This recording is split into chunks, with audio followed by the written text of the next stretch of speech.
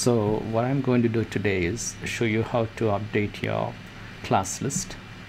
So at this time you have your classes set up.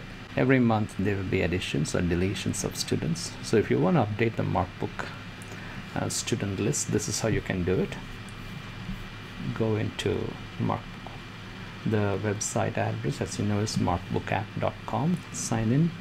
Click ok after entering the credentials here you have the different courses. I'm going to select the first course which I want to update. My list is current but I just want to show how you can update it. Open class. Now if you come to the left you will see my classes. That's what you select.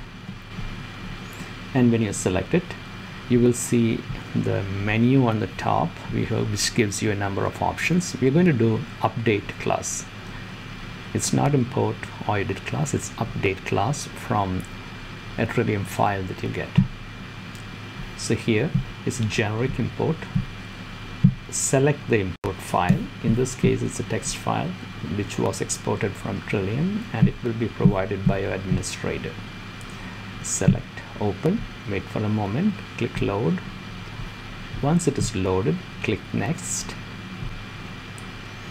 In this page where you have to map the fields the fields in the database with the fields in the text file that you got. The best way to go about it is select auto map fields. That will pre-populate all the mappings with one exception. The courses have not been selected. So this is what you do. You go to import if number one.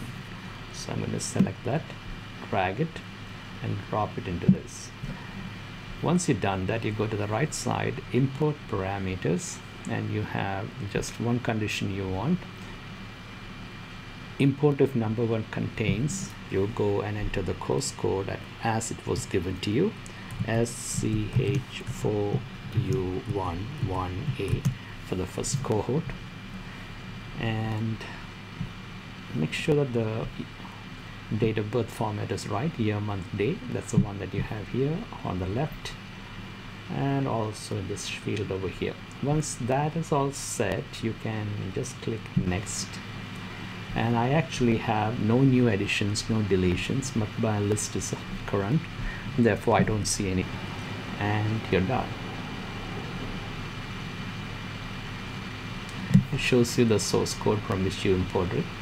So you can click finish that's how you update a class in Markbook